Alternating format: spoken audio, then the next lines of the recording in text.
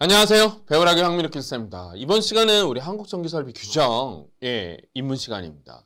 어, 우선 여러분들한테 어떤 내용이 가장 중요한 내용인지 먼저 조금 설명을 드리는 시간을 가지려고 합니다. 어, 사실 KC가 변경되고 나서 여러분들이 저에게 질문 너무 많이 주시기도 하시고요.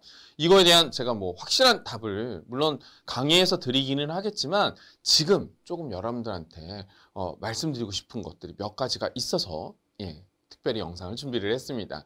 어, 우선은 여러분들이 예, 이런 질문 제일 많이 돼요. 어, 우리 저희 과목 어떻게 변경했는데 어떻게 해야 돼요? 뭘 준비해야 돼요? 뭐 그리고 또는 뭐 기존에 공부하시던 교재 가지고 어 이거 어떻게 준비해야 돼요? 뭐 이런 얘기도 많이 하시는데 사실상 지금 현재 입장에서는요. 어, 변경된 교재를 공부하시는 걸 적극 추천해 드립니다. 어, 제가 어, 광고하는 거 아니고요. 어쩔 수 없었어요. 그래서 뭐 뭔가 이렇게 조금만 바뀌게 되면 차라리 그냥 뭔가 이렇게 첨부해서 여러분들한테 전달해 드리면 좋았을 텐데 어, 그런 내용이 아니고요. 사실상 KC는요. 전부 다 변경됐다고 해도 예. 되는 부분입니다. 사실 50% 이상이 변경됐고요.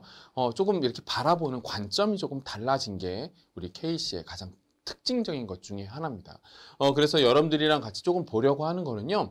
우리 입문편에서 전체적인 우리 예, 공부해야 할 방향도 조금 생각을 좀 해보고요. 가장 키워드가 되는 것들 좀 볼게요. 어, 사실 이게 규정 또 전기 설비 기술 기준 이렇게 돼 있는 거기 때문에 어, 관련된 용어들 이런 것들이 조금 예, 입에 익숙하지 않은 용어들이에요. 물론 뭐 전기 자체가 뭐 익숙하지 않은 건 사실이기는 해요. 어, 그런데 가뜩이나 더 우리가 규정이라는 말이 붙거나 기준이라는 말이 붙으면 조금 더 낯설어요. 그래서 우리 그래서 입문편을 만들었습니다. 전체적인 내용 좀 살펴볼까요? 우선은 과목 제 5과목의 어, 전체적인 장입니다. 물론 더 있어요. 이 중에서 제가 조금 더 강조하고 싶은 것들을 좀 색깔을 좀 칠해볼까요? 어, 우선은 KC가 변경이 됨으로써 어, 이런 내용들을 조금 더 강조하고 있습니다. 전기설비 기술 기준 자체가 조금 변경됐어요. 몇 가지 중요한 사항들, 특히 시험 보는 부분에 대해서 변경됐어요. 그리고 거기에도 공통사항이 있고 KC에도 공통사항이 있어요. 그래서 이 공통사항 어, 좀 중요해졌어요. 그 다음에 전기설비 기설 전기설 어 그쵸 저압 전기설비죠. 죄송해요. 저압 전기설비요. 저압 전기설비라고 하면 그죠 우리가 일반적으로 사용하는 모든 설비들 전부 다 그 설비들에 대한 기준이에요. 어, 이게 조금 느낌이 이상하, 다르시죠? 예, 사실상 뭐 우리가 밑에 것도 다 그런 거 아닌가요? 그런데 여기에는 그렇죠. 안전에 대한 원칙이 좀 더 부각돼 있어요. 그래서 우리가 제일 고민을 많이 했던 거, 예, 맞아요. 접지라고 하는 그 부분이 여기에서 예, 아주 핵심적으로 다루고 있습니다. 그래서 전체적인 내용이 다 여기에 꽂혀 있어요. 그 다음에는 뭐 전설로나 이런 것들은 뭐 여전히 여러분들 혹시라도 어 기존에 공부하셨던 내용이라면 예, 전설로 부분은 거의 변경사항이 없습니다. 어 그리고 나서 쭉 넘어와서 배전, 어, 배선 그리고 조명 설비. 어 항목이 조금 더 새로워지기는 했지만 사실상 그죠? 여러분들이 조금 알고 있던 내용하고 예, 이렇게 넘어가는 예, 맞아요. 접자하고 관련된 내용들이 조금씩 조금씩 다 변경이 됐습니다. 전체적인 느낌은요. 설비, 어, 새로 신설되는 KEC는 전체적으로 안전에 대한 기준이다라는 거 그거를 바탕으로 하고 있습니다. 어, 나머지 뭐 7장과 10장까지도 있는데 여기에서도 조금 핵심인 거는요. 예, 지금 보이시는 것처럼 기구 또는 기계, 설비의 옥내 배선이에요. 어, 이렇게 되면 사실상 저압 설비하고 관련된 옥내에 신설되고 있는 것들, 옥내에 시설해야 하는 것들, 그런 것들이 좀 더 중요해졌고요. 그 다음엔 예전에는 조금 전기철도에서 문제가 조금 어, 한두 문제 나왔다라고 보면 어, 지금 제가 전기철도를 쭉 훑어보면은 내용이 그렇게 어, 예, 문제 내기 수월하지 않아요. 어, 반면에 어, 분산형 전원이라고 하는 건 예, 맞아요. 요즘에 가장 이슈되고 있는 것 중에 하나입니다.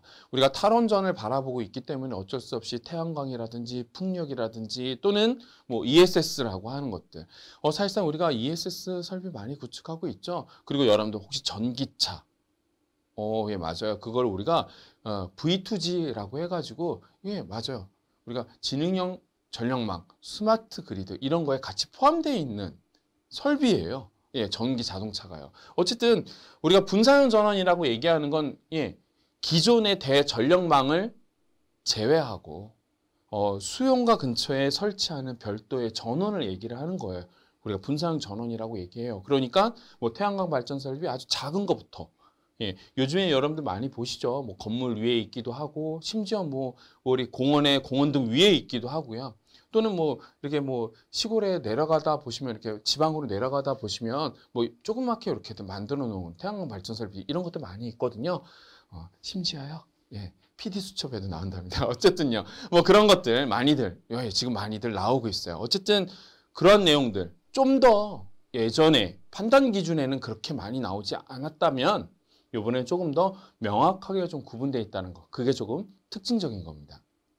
되셨죠? 그래서 어, 각각에 해당되는 이 설비들에서 조금 더 핵심인 단어들을 좀 생각을 좀 해보죠. 우선 1장에서 우리가 전기 설비 기술 기준이라고 얘기를 하면 제일 핵심인 단어는 절연 성능입니다. 이거는 규정이 변경됐으니까 여러분들이 예, 본 강의에서 아주 집중적으로 암기를 하셔야 돼요. 거기에 있는 표, 거기에 나오는 내용들, 특히 특별 저압이라는 거 조금 색다른 개념이어서 여러분들 알고 계셔야 되고요. 기존의 피레 설비라든지 누설 전류라든지 뭐 2000분의 1이라든지 뭐 이런 것들 기억하시죠? 그런 내용들 예, 여전히 예, 살아 있습니다. 그래서 그런 내용들 좀잘 기억을 해 두시고요. 그 다음엔 뭐 그죠? 우리가 저압 전기 설비에서는 이러한 항목들이 여러분들한테 예, 조금 부담을 줄 겁니다. 특히 우리가 KEC라고 하는 부분에서 여러분들 뭐 전체적인 일반 사항까지 예, 그리고 핵심적인 내용들 그런 내용들 보셔야 되고요. 여전히 전로의 절연이라는 거 기억하시죠? 절연 내력 성능이라든지 이런 부분들 그런 부분들이 여러분들한테 부담을 좀 많이 줄 거예요. 표가 조금 더 세분화됐어요. 그래서 세분화된 거 그나마 다행인 건 다 비슷비슷해요. 다행이죠? 어, 좋습니다. 그 다음엔 우리가 접지 시스템 이거는 완전히 변경됐기 때문에 여러분들 반드시 접지 시스템 잘 기억하고 계셔야 돼요. 그리고 우리가 필의 시스템이라고 하는 거, 필의 시스템 어떤 거예요? 예, 맞아요. 번개. 어, 번개 맞으면 어떻게 하나요? 이렇게 되는 겁니다. 어, 사실상 우리가 판단 기준에는 어, 그냥 피뢰 시스템을 설치해야 된다. 이런 거. 한 문장 있었다면, 예, 여기에는 챕터가 하나 새로 생겼어요. 그래서 챕터가 하나 생겼는데, 어, 이거 제가 설계하는 사람이잖아요. 어, 설계하는 사람이다 보니 이거요? 그렇게 쉽게 설계하지 못해요. 예, 맞아요. 어, 사실상 설계할 때 굉장히 많은 걸 협의도 해야 하고요. 예, 이 기준대로만 이렇게 딱 설치하는 거 말은 쉽죠. 예, 쉽지 않습니다. 어, 그래서요. 어, 그렇게 되면 무슨 아, 예, 무슨 얘기 하려고 하는지 아시겠죠? 시험 문제를 낸다면 특정 지어지게 돼요. 되셨죠? 그거 다 여러분들한테 설명을 드릴 겁니다. 어, 그 다음엔 우리 뒷장으로 넘어가셔가지고요. 분사형 전원에서, 그죠. 우리 꼭 기억해달라고 말씀드리는 거 이겁니다. ESS 태양광 발전 설비예요. 어, 물론 뭐 요즘에 대단히 단지에서 풍력 발전소 설치한다고 하는데 제가 정말 자신 있게 말씀드릴 수 있는 건요. 풍력 설비 쉽지 않아요.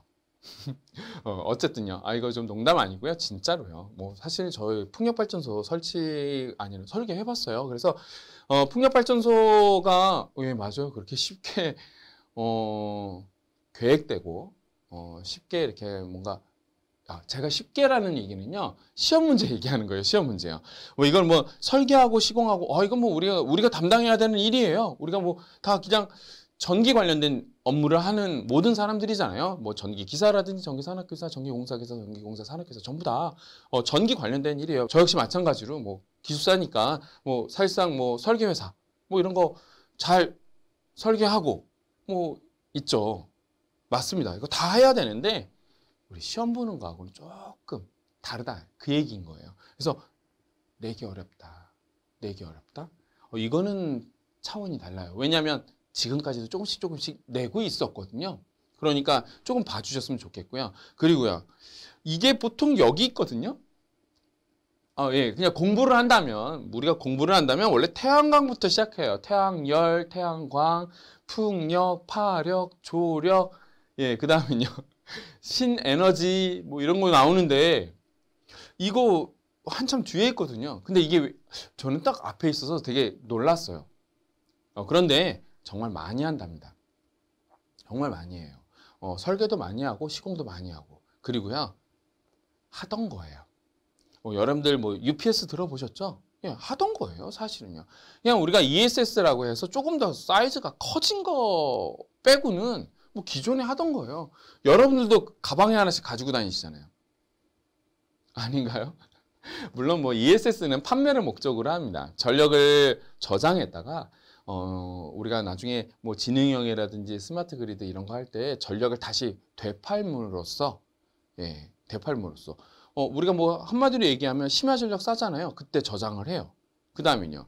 2시, 여름철 2시, 어, 전기 많이 필요할 때죠. 그때 좀 단가가 비싸집니다. 이런 형태로 해서, 예, 약간 경제성을 추구하는 목적이기는 해요. 근데 여러분들도 하고 다니, 가지고 다니신다니까요. 예, 보조 배터리 하나씩 가지고 다니시잖아요.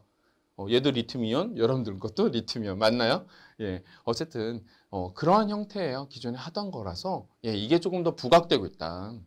그래서 제가 이거 간단하게 설명을 드릴 거예요. 이것도 마찬가지고요. 이것도 마찬가지고요. 얘는 더욱 간단하게 해드릴 거예요. 되셨죠? 어, 전체적인 분산형 전원과 관련된 내용이었습니다.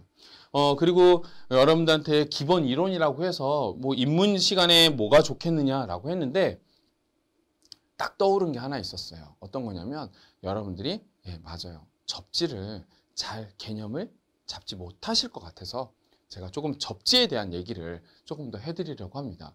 어, 여러 번 반복될 수 있어요. 그거만큼 중요한 겁니다. 되셨죠? 그러면 이제 우선 손 좀 푸시고요. 지금은 입문 시간입니다. 다 이해 못 하셔도 되고요. 어, 나중에 본 강의에서는 다 자세, 자세하게 설명드릴 거고 교재도 물론 있으니까 너무 걱정하지 마시고요. 지금은 지금 화면만 화면만 잘 보시고 아 이게 접지구나. 뭐 별거 아니네. 이렇게 생각하시면 돼요. 되셨죠? 한번 같이 가죠.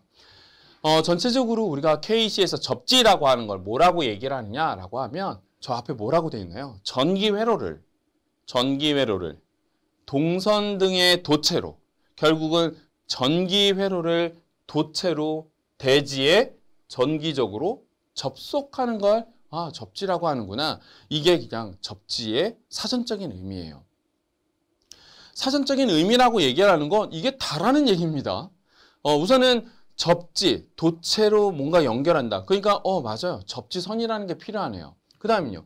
대지에 딱 이렇게 넣어야 되니까 그 선을 어떻게 해야 되나요? 예, 맞아요. 이게 뭐 접지 극, 극의 형태로 땅에 이렇게 꾹 넣어 주셔야 돼요. 그게 그냥 접지 극 시스템이라고 얘기를 합니다. 어, 그래서 접지라는 개념. 그러면 이렇게 됐네. 어, 이해하셨죠? 그러면 이걸 왜 하냐가 문제죠. 이걸 하는 이유가 있었죠. 그리고 심지어 앞에 네, 전기 회로라는 말을 썼잖아요. 그러면 전기 회로라고 하면 뭐 전류가 흐르는 이런 것들 얘기하는 거 아니에요? 예, 맞아요. 그런 것들 얘기한 거예요. 그래서 여러분들이 전력 전송공학 시간에 중성점 접지? 예, 맞아요. 그런 거 다 포함했기 때문에 예, 전체적인 사전적인 의미가 이런 얘기입니다. 그러면 이걸 왜 하는지를 조금 이해만 하시면 됩니다. 여기 꼭 보세요. 어, 우선은 구분부터 좀 지어보죠. 구분부터요. 어, 우리가 접지를 할 건데 접지를 할 건데 구분을 하겠다. 구분이라는 말은요. 왜 했냐 이렇게 물어보는 거예요. 넌 목적이 뭐야 이거예요. 그래서 우리는 접지, 특히 KC에서 접지는 이렇게 크게 세 가지로 구분합니다. 다시 한번 보세요 여기요. 개통의 접지. 이게 제가 조금 전에 얘기했던 전력 전송공학 시간에 개통의 중성점 접지를 얘기를 해요. 그때 어떤 거 공부하셨어요? 이런 거 공부하셨는데 기억하시나요? 일선 지락시 건전상 대지전이 상승을 감소하기 위해서 되셨죠? 예, 그거 맞아요. 그거 접지한 겁니다. 보호 접지라고 하는 거는요. 우리가 보호라는 개념은 우리가 어떤 걸 써요? 보호, 보호한다. 누구누구를 보호한다. 어, 이거 보호막이야? 뭐 이런 거 여러분들 많이 하시잖아요. 게임 캐릭터 보호막, 뭐 이런 거 많이 하시잖아요. 맞아요. 그런 거 보호하는 거예요. 특히 우리가 접지를 논할 때 보호라는 개념은요. 나를 보호하는 거예요. 내가 전력 사용 시설물을 사용할 때, 어, 나, 나, 나요. 나. 특히. 감전하지 말라고 나를 보호하는 걸 얘기를 해요. 그럴 때 사용하는 거예요. 그리고 하나 더 있어요.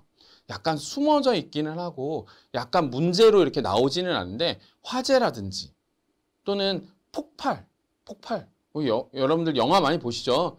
뭐 대충 대충 이런 거 있죠. 전기 스파크가 펑 터져 가지고 막 자동차가 폭발하고 막 이러는 거 맞아요. 우리가 전기라고 하는 거는요 바라 원이라고 하는 걸로 존재해요. 그래서 그러한 공간, 그는 방폭 뭐 이런 얘기가 나오거든요. 그런 거 보호하는 거예요. 그 다음은요. 예, 그 다음 필해 시스템 접지예요. 그러니까 결론은 아까 전에 우리가 필해라고 하는 개념이라는 거예요. 필해. 그래서 필해는 번개에 해당되는 내용이고 번개가 우리 건물에 딱 내리왔 내려 꽂았다 이렇게 생각을 하면 이거 해결할 수가 없어요. 뭐 여러분들 가끔 뭐 영화 보면 뭐 어, 어 저는 좀 영화를 좀 많은 보는 편이어서 그래서 영화가 벌써 머리 떠 떠오르거든요. 뭐 막 예, 프랑켄슈타인 같은 거막 생명 살리잖아요. 그 어쨌든 어, 농담이고요. 어쨌든 그만큼의 에너지가 크다라는 거예요. 예, 막 2기가와트 막 이런 이런 거예요. 그래서 막 암페아 수로 따지면 어, 200카 막 100카 막 이런 정도 전류가 흐르는 거예요. 예, 이거 해결할 수가 없어요. 그래서 어떻게 해야 되냐면 다 땅으로 보내야 돼요. 지구로 보내야 돼요. 그러니까 이런 거 필요해요. 그래서 우리가 어, 접지를 왜 했니? 그럼 목적이 딱 세 가지예요. 개통의 접지, 보호 접지, 필요 접지요. 그 다음에 이렇게 하는 접지들이 땅으로 내려왔을 때, 땅으로 내려왔을 때, 아까 전에 제가 접지선에 어, 이렇게 극을 만들어서 이렇게 꽂아야 됩니다 라고 말씀드렸죠. 그러면 그 꽂는 걸 각각 꽂으면 단독, 그 목적에 따라서 하나하나 하나씩 다 각각 각각 꽂으면 그걸 우리가 단독 접지라고 얘기를 해요.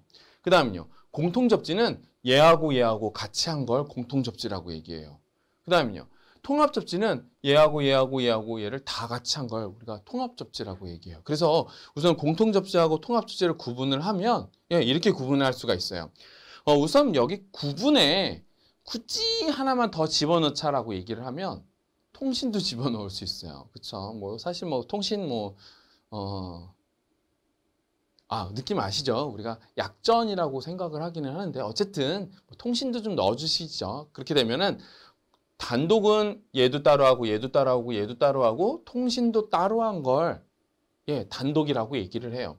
근데 공통이라고 얘기를 하면 그죠? 이제 어떤 거예요? 전력 쪽. 이런 전력 쪽은 같이 하고 필에 따로 하고 통신 따로 하면 이걸 우리가 예, 공통 접지라고 얘기를 해요. 통합 접지라고 하는 건 이제 뭐 싹 다 같이 하는 거예요. 우리가 통합 접지라고 합니다. 이제 구분은 되셨죠? 그 다음에 앞으로 한국전기설비 규정에서는 접지의 종별 뭐 일종이니 이종이니 뭐 이런 거 전혀 없어졌어요. 그러니까 다 머릿속에서 지워버리세요.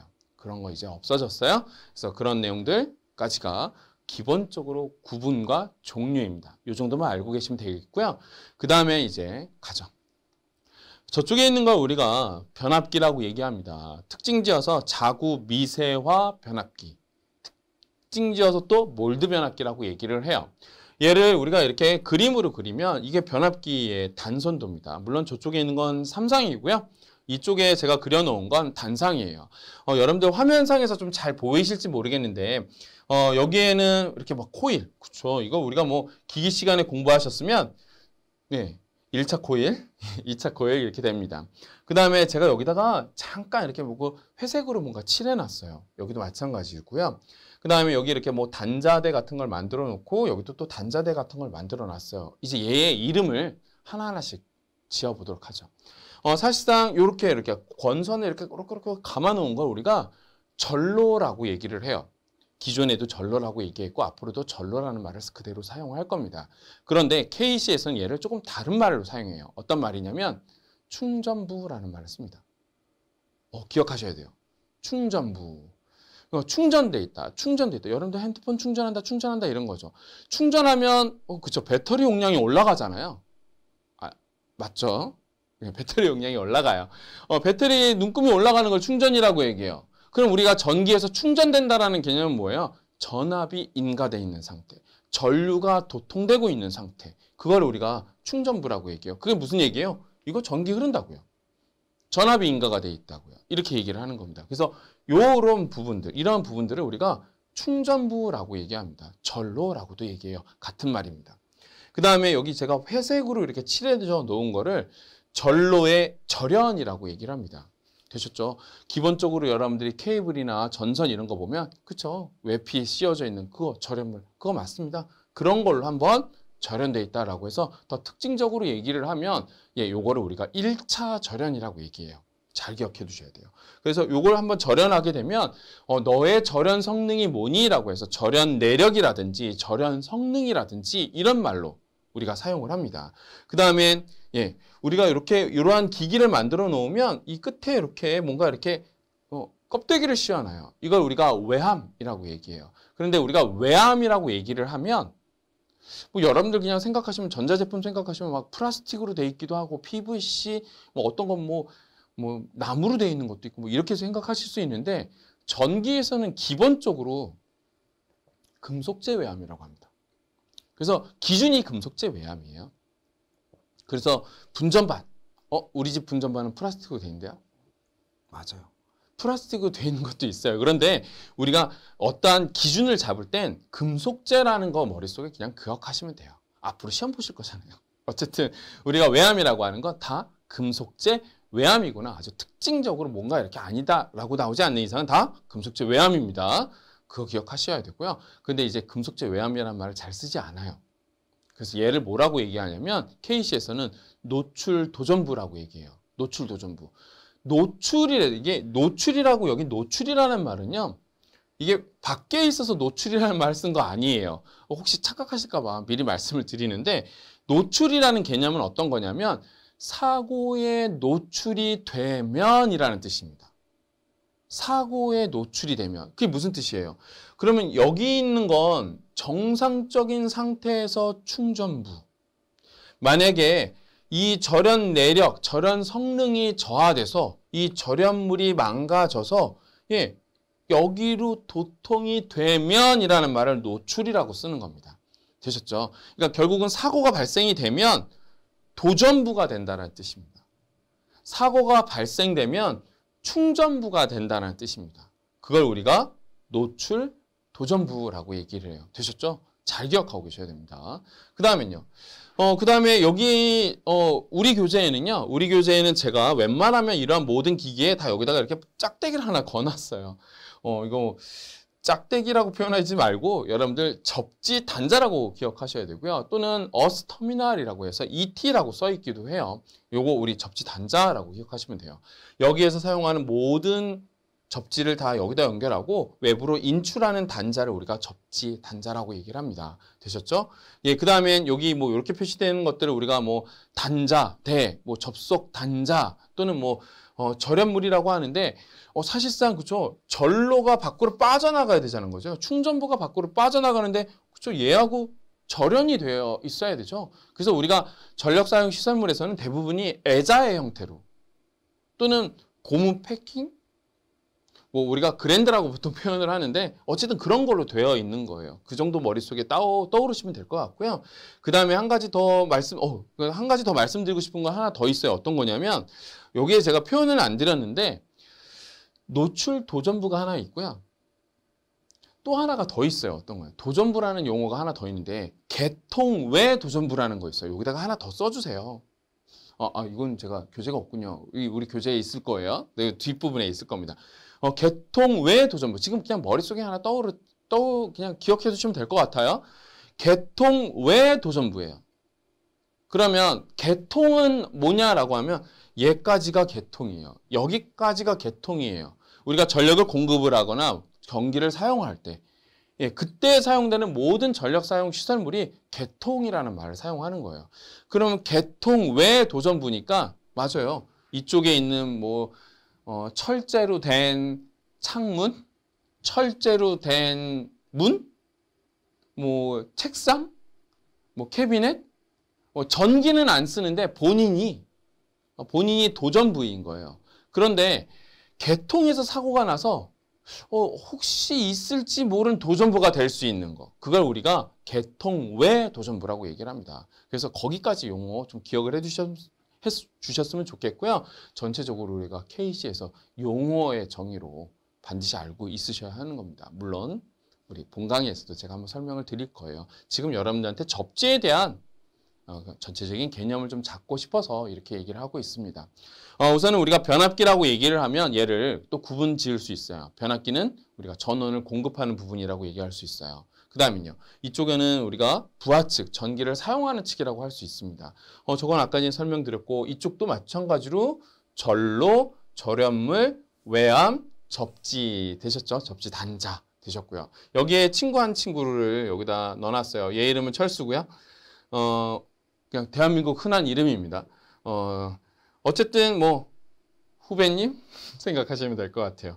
어쨌든 어, 그렇다고 저를 그려놓을 수 없어서 어, 왜냐하면 어, 좀 감전을 시킬 거거든요. 어쨌든 어, 이런 친구 우리 뭐 한 친구 좀 친구라고 할게요. 어쨌든 친구까지 포함했습니다. 어쨌든 이 친구는 이러한 전력을 사용하는 기기에 인접해 있는 사람을 얘기를 합니다.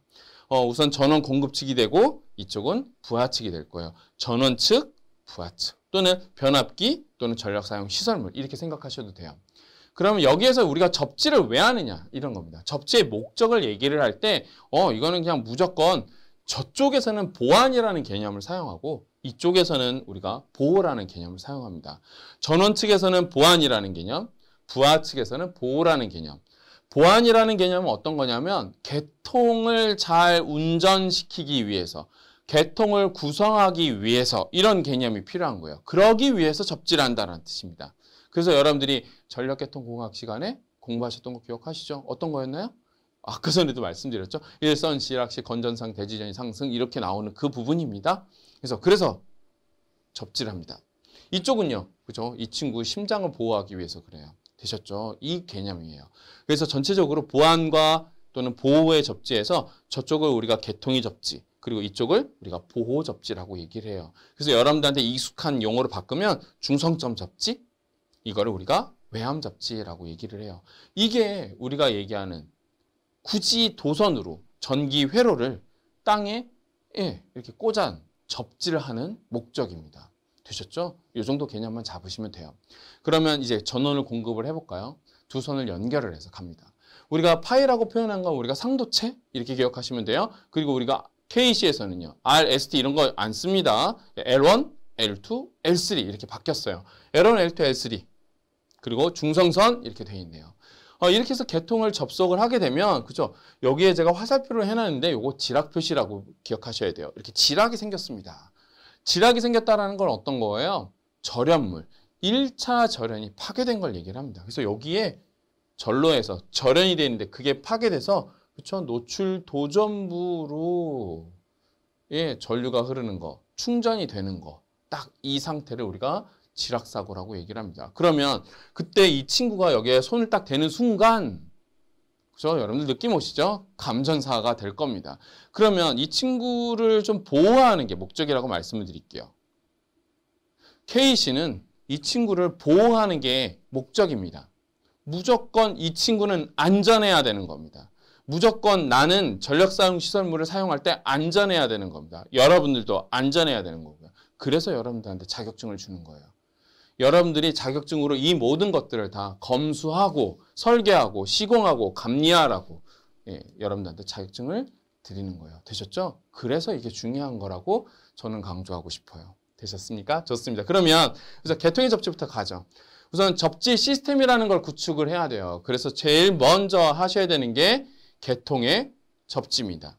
그래서 중성점을 접지하는 형태가 돼요. 어쨌든 접지를 하게 되니까 어, 외암도 같이 접지가 되는 겁니다. 그래서 중성점 접지는 변압기 자체에서의 중성점뿐만 아니라 외암도 같이 접지를 하게 되고요. 그 다음에요. 고저압 혼촉 방지판이라는 거 기억하시나요? 우선은 기기 시간에도 한번 언급이 됐을 텐데 어쨌든 고저압 혼촉 방지판이라고 하는 건 요 사이에 있는 판을 얘기를 해요. 어, 이걸 왜 설치했냐라고 얘기를 하면 그죠? 절연이 파괴될 때 꼭 여기에서 일루 파괴되라는 의미, 오, 뭐 법은 없죠. 여기에서 일루 파괴될 수도 있죠. 1차 측과 2차 측. 어? 왜 그럴까요? 혹시 조금 전에 우리가 변압기 사진 봤을 때 동그란 거 하나, 둘, 세 개 있는 거 기억하시나요? 어, 우리 교재에도 실려져 있는데 어쨌든 예 저압권선, 고압권선이 이렇게 통으로 같이 만들어져 있어요. 예, 그러니까 그쵸 일로 일로 넘어가기 쉬워요. 잘못한 사고가 발생했을 때. 어쨌든 그렇게 되면 오 그쵸 저 앞에는 22,900이고요. 이쪽은요 220이었는데 어, 우리 상상 비교해야 되니까 13만 2천이겠네요. 어, 13.2kV고 여기는 220V인데 그죠 저게 두 개가 딱 붙는 순간 어, 이 친구한테 몇 볼트가 걸려요? 예, 13.2kV가 걸릴 수 있어요. 그러니까 중간에 뭘 둬야 된다고요? 금속재 혼쪽 방지판을 두는 겁니다. 어쨌든 그거 접지하는 거. 그거 우리가 개통의 접지라고 얘기를 해요. 되셨죠? 좋습니다. 그 다음은요.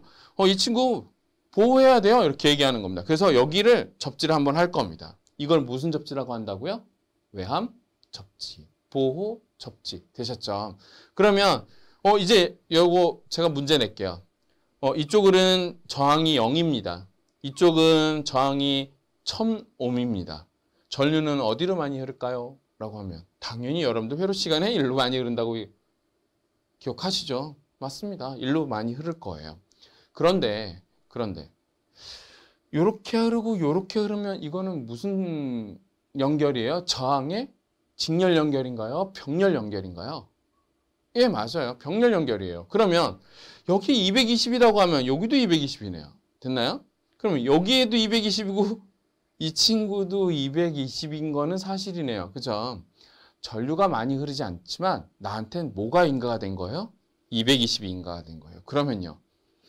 심장이 아파요. 되셨죠? 그래서 감전사 할 수 있습니다. 어, 심장은 소중하니까요. 그래서 사실상 제한을 둘 거예요.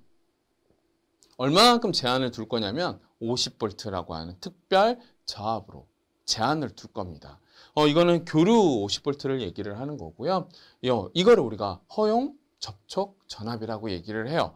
어, 그래서 이렇게 꾸며놓은 거, 개통도 접지를 하고, 예, 외함도 접지를 하고, 그래서 사실상 지락사고가 나면 예 이렇게 고장 루프가 만들어지는 이러한 시스템, 접지 시스템을 우리는 예 TT 계통이라고 얘기를 해요. 여러분들 잘 알고 계실 거예요.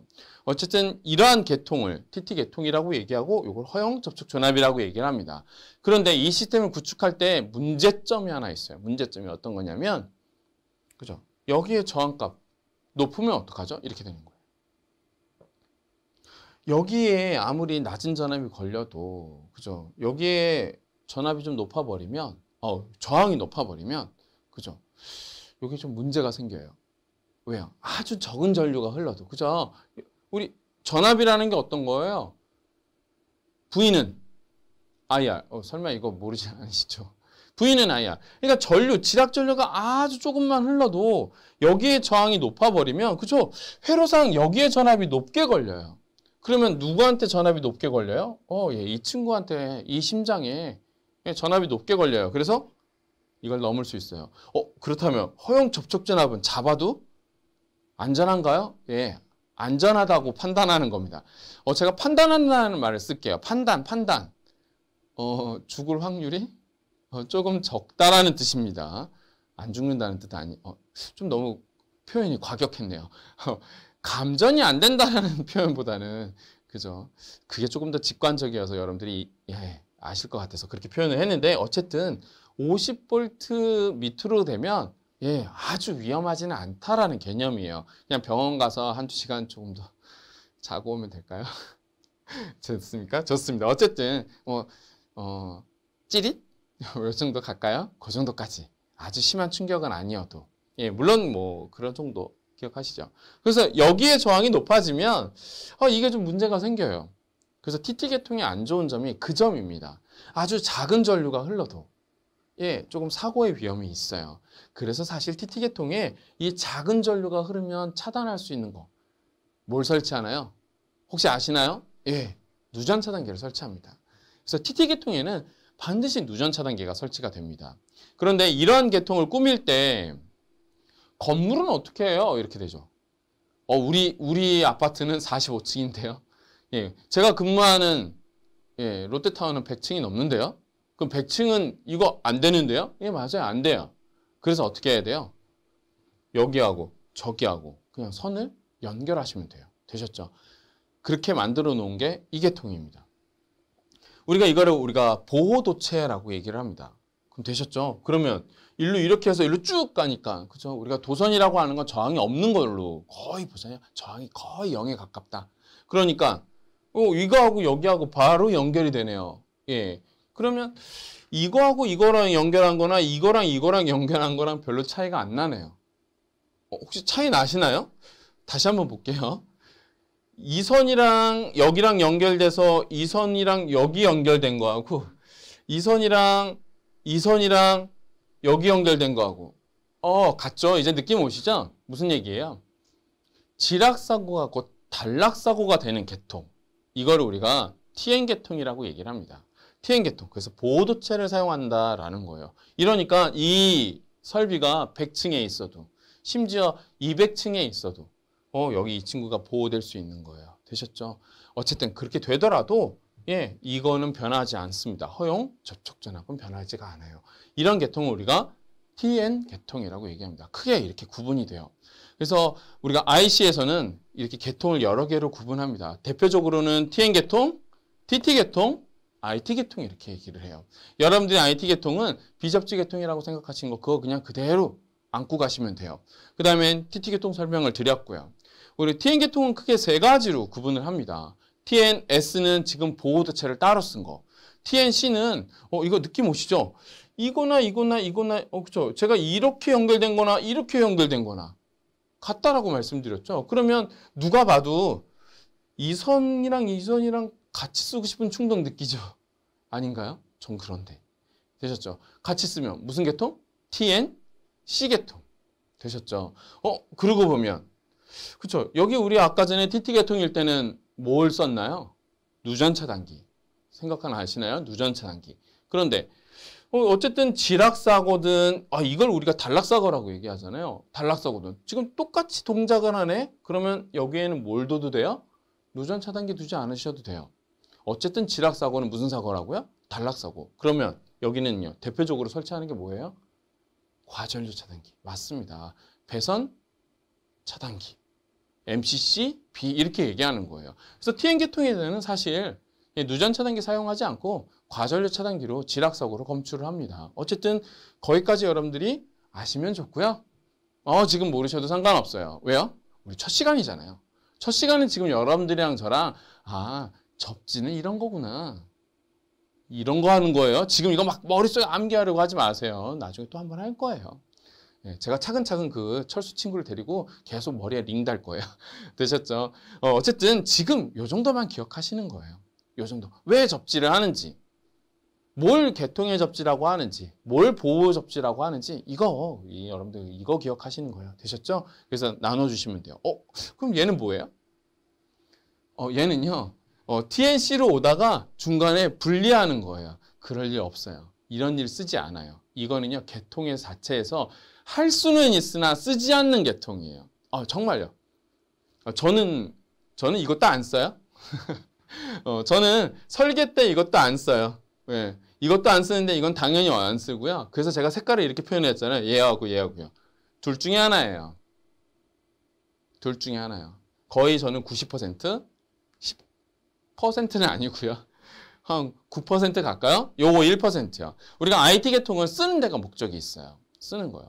여러분들이 혹시 전력계통공학에서 공부하셨는지 모르겠지만 우리는 나오지 않아서 제가 딱히 설명을 드리지는 않는데 우리가 비접지 계통이라고 하는 건 어떤 거예요? 일선 지락 사고가 나더라도 지락 전류가 많이 흐르지 않아요. 1차 사고는 흐르지 않아요. 2차 사고는 많이 흐르죠. 왜냐하면 계통이 구성됐으니까 아마 전력계통공학 교수님이 그렇게 말씀해 주셨을 거예요. 어쨌든 IT 계통 1차 사고에는 동작하지 않아요. 그러니까 특징이 뭐예요? 1차 사고가 나더라도 우리 비접지에서 특징적인 게 어떤 거 하나 있었죠? 지속적으로 전력을 공급할 수 있다. 맞죠? 그래서 우리가 IT 계통, 비접지 계통을 사용하는 거예요. 이런 게 필요한 데가 우리 시험 문제는 딱 한 군데 나와요.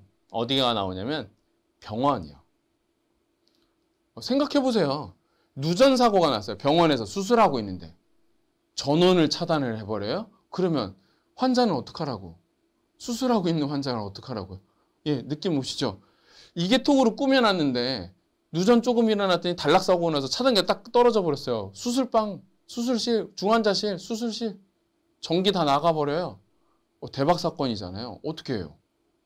죽으라고요? 이렇게 되는 거잖아요. 극단적으로 얘기하면. 그러니까 이 계통 꾸밀 수 없어요. 예, 그래서 우리는 IT 계통을 이야기해요. 그래서 IT 계통에 의료 IT 계통이라는 말이 같이 딸려가는 거예요. 우리에게 시험 문제는 무조건 의료 장소에 사용하는 접지 개통으로 기억하셔도 돼요. 되셨죠? 일선 지락 사고가 나면 차단하지 않고 경범만 하는 경우예요. 누구한테 알려줘요? 수술실에 담당자한테 어 누전되고 있어요 이렇게 알려줘야죠. 누전은 위험해요. 왜요? 아, 심장이 멎을 수 있잖아요. 어, 무슨 뜻인지 아시겠죠? 수술하다가 누전이 발생을 하면 심장이 멈출 수 있어요.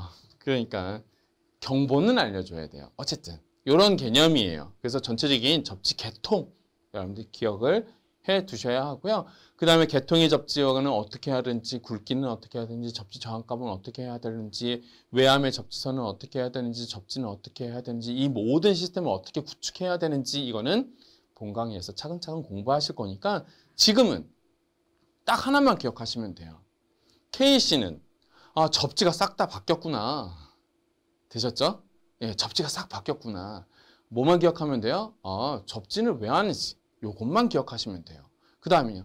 하나만 더 부탁드리면 어, 어쨌든 뭐 용어의 설명에서 또 따로 한번 설명을 드리기는 하겠지만 그래도 아까 전에 제가 어, 변압기를 예를 들 때 어 뭐 그때 어, 이런 거였지 지금 충전부 노출 도전부 절연물 요 세 가지만이라도 지금 그냥 개념만 잡아주시면 돼요. 되셨죠? 좋습니다. 어, 이렇게 설명을 드리고요. 어, 뭐, 물론, 뭐, 본 강의에서 여러분들한테 쭉 다 차근차근 설명을 드릴 거예요. 그리고요, 너무 지겨워 생각하지 마세요. 제가 조금 설명이 좀 길어요. 어쨌든 좀 여러분들한테 자세하게 설명을 드리려고 조금 설명이 좀 길답니다. 그거 조금 이해해 주시고요.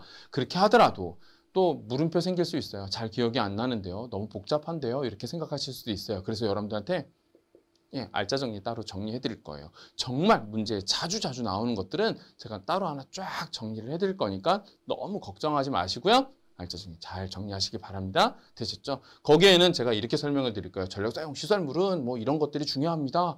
또뭐 꼭 기억해 주시기 바랍니다. 예, 이렇게 해서요.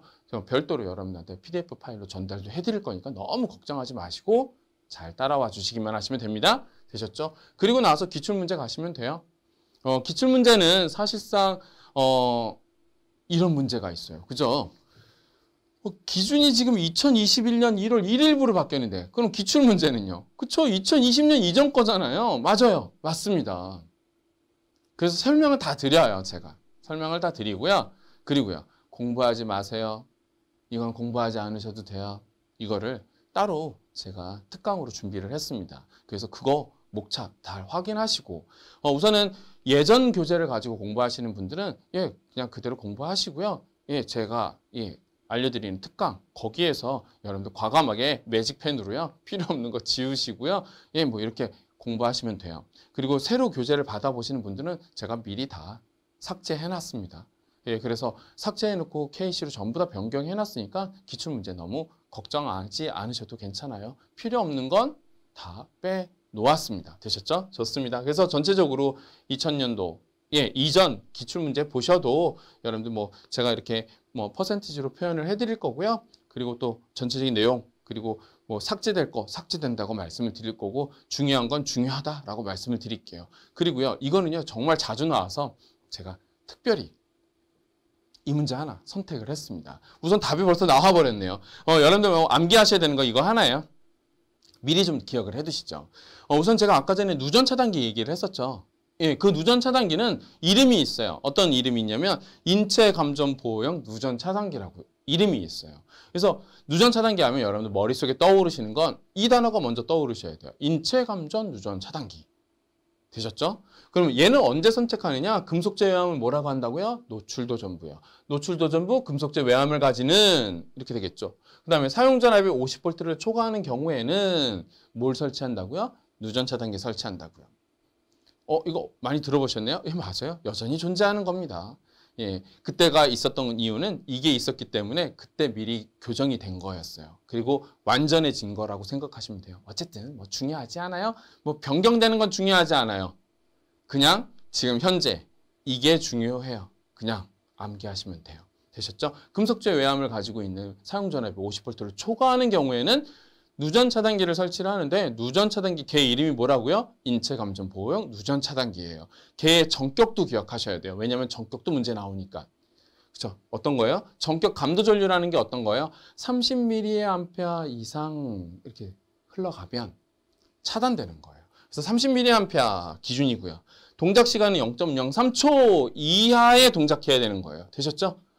예, 그렇게 빠르게 동작을 해야 되는 겁니다. 되셨죠? 누구 보호하기 위해서? 아, 예. 아까 전에 그 친구 아니고요. 우리 보호하기 위해서요.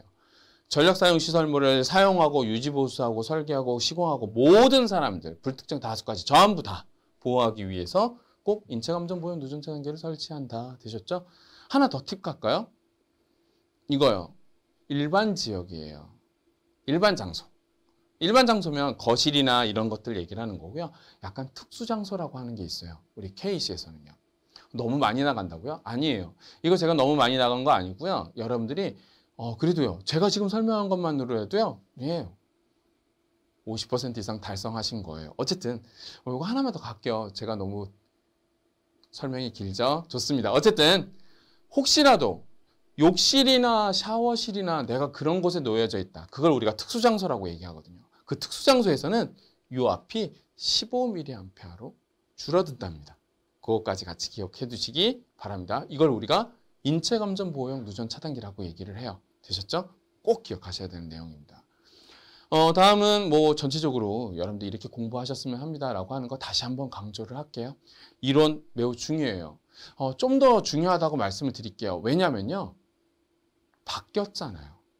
규정이 바뀌고 나면 사실상 문제가 물론 뭐 저도 문제를 막 만들어서 여러분들한테 전달을 해드리고 추가 문제도 만들어서 막 전달을 해드리기는 하지만 문제가 하나 있어요.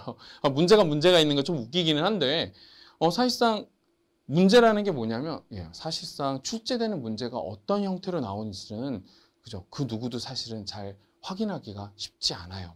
그래서 우선은 어떠한 문제를 풀 수 있던 하려면 그죠 기본에 충실하셔야 됩니다. 그래서 기본 충실하시고 정체적인 이해 예, 중요합니다. 그래서 제가 지금 이 입문편에 제가 조금 더 시간을 좀 많이 들여서 전체적으로 접지를 설명드린 이유 중에 하나입니다. 여러 번 들으셔도 좋을 것 같아요. 좋습니다. 그렇게 기억하시고요. 예, 그리고요. 우리는 예, 법규, 규정, 기준 이거 물어보는 거예요. 어쩔 수 없이 용어, 단어 예, 이런 것들 잘 암기 해 두셔야 합니다. 그래서 단어로 암기하시고 문장으로 암기하세요. 이렇게요. 금속 제외함은 사용 전에 50V를 초과하는 경우에 인체 감전 보호 누전 차단기를 설치한다. 전격 감도 전도는 30mA, 동작 시간은 0.03초 이하의 동작하는 전류 동작형입니다. 되셨죠? 좋습니다. 여러 번 하시면 돼요. 예, 어려운 거 아니고요. 예, 하다 보면 쉬워지실 겁니다. 되셨죠? 좋습니다. 그래서 단어, 문장으로 기억을 하셨으면 좋겠습니다. 어, 이번 우리 입문 시간 여기까지 정리하고요. 여러분들 본 강의에서 제가 가능한 한 천천히 설명을 좀 드리려고 노력을 했습니다. 여러분들 좀 천천히 좀 잘 따라와 주시고요. 예. 암기 잘 해주셔야 돼요. 어쩔 수 없습니다. 우리가 기술 기준과 어, 전기설비 기술, 전기설비 설비 규정은요. 조금 암기가 필요한 과목이라는 거 다시 한번 좀 말씀드리도록 하겠습니다. 이번 시간 여기까지 정리하고요. 배우락의 황민우 기술사였습니다.